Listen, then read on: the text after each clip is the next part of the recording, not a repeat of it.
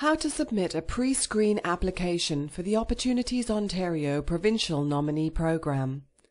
The employer submitting a pre-screen application can send the completed application and the supporting documents by mail, courier, or deliver the application in person to the Opportunities Ontario Provincial Nominee Program, Toronto, Ontario. For everything you need to know about this process, click the hyperlink or call the number below this video.